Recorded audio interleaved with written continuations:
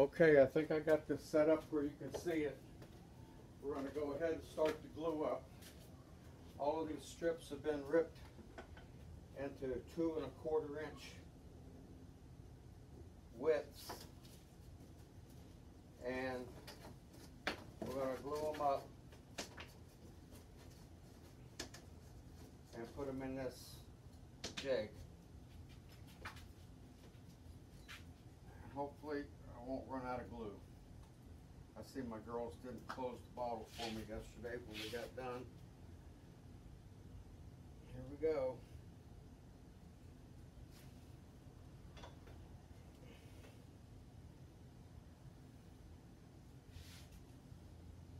There may not be a lot of talking during this video because it's going to be self-explanatory. I'm gluing these up on a nine foot radius, excuse me, a 10 foot radius. I had to put an extension on the end of my table, an eye bolt with some braided fishing line, something that wouldn't stretch so I could get a good radius. I'm gonna glue up my roller first. There we go. All right, here goes the first three. This should probably take, I'm gonna say, about 10 minutes.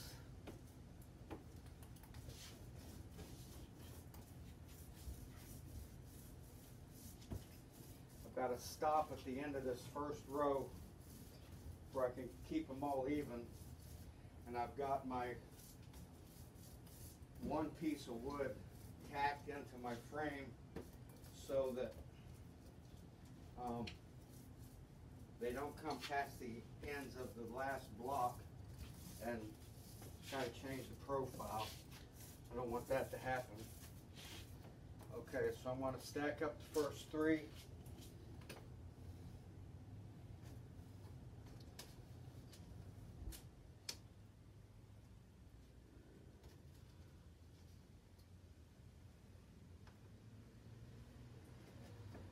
Get these two out from under here. Not going to get glued right away.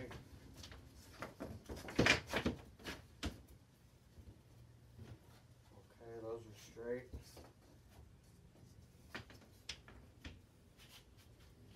Alright. Here we go. We'll switch the two at a time. I didn't have my stop in there yesterday, but I find it necessary in order to not have to deal with trying to straighten them up after they're glued.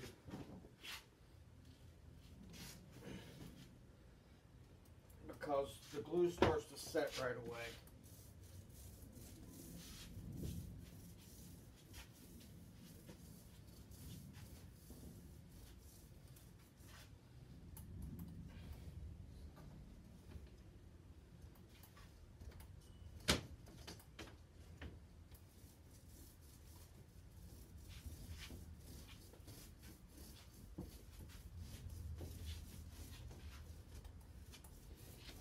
I'm a fan of shantyboatliving.com.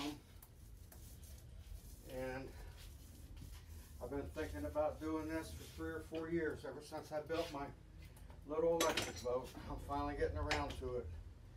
And like my dad said to me when we built our last boat, I'm 70 years old. This is the last project I'll probably ever do. And I know what he was talking about. That was 20 years ago.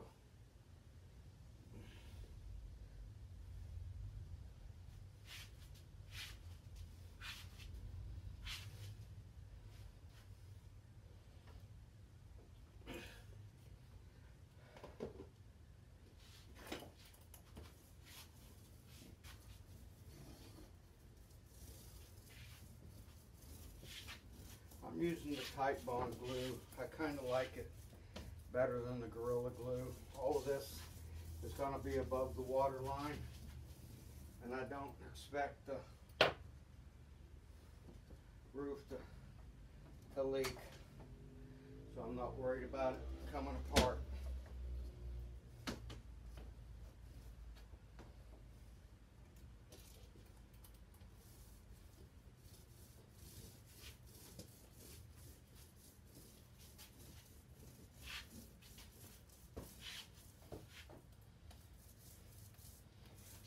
Gonna take a block and knock these all down after we get them in the jig.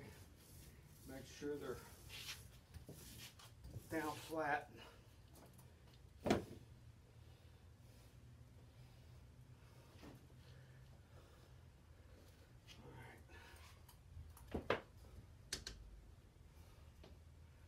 little harder to move now. Lord, don't let me run out of glue today. I'd hate to have to come back tomorrow and add one strip to this thing. Yes, I'm putting another bead of glue on this last one. I'm gonna turn it upside down.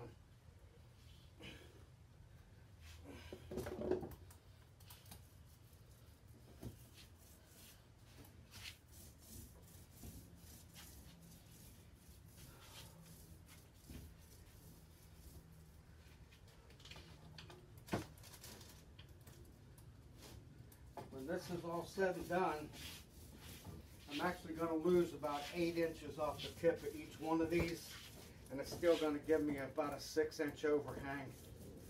So.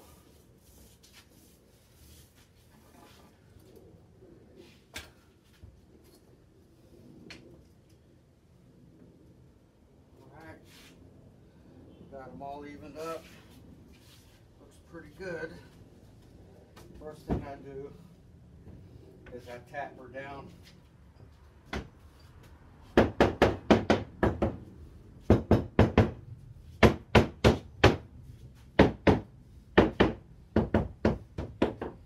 When you're doing this, be sure you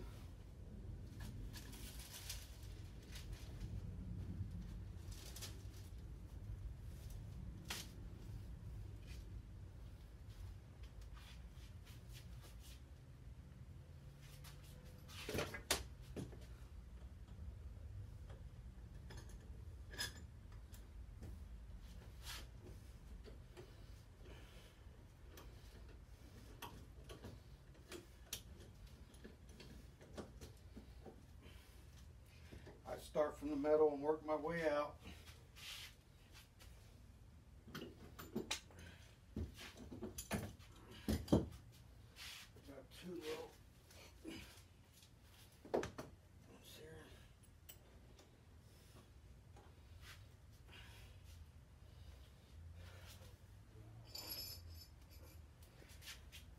What I was gonna say was, when you're doing this,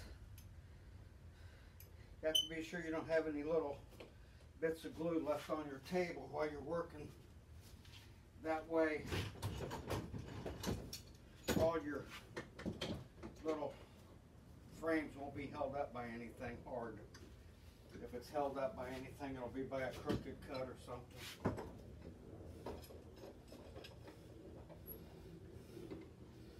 I like to start from the inside and work my way out. That way, it gives them half a chance to catch up with themselves.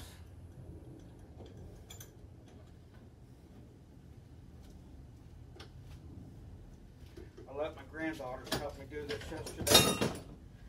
I told them after I'm gone, you can tell everybody I helped build that roof.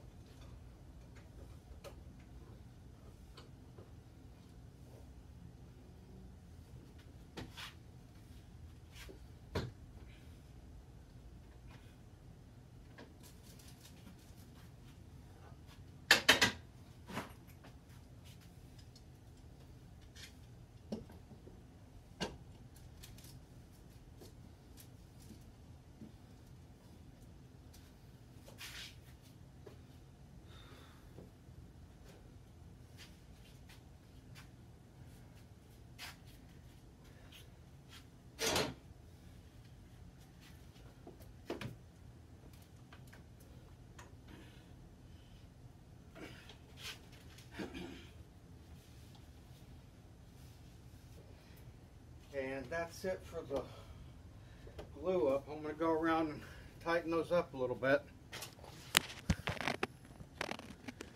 Oh wow, low battery. I don't know how much of that you saw, but uh, there it is, it's finished. And what we're gonna do when they're all done is we're gonna run them through that 12 inch planer over there and even them up on the sides get them stained. These will leave me enough room to put in an inch of roof insulation a little tack strip and nail up a sheet of quarter inch Luan to uh, hide everything and make it all pretty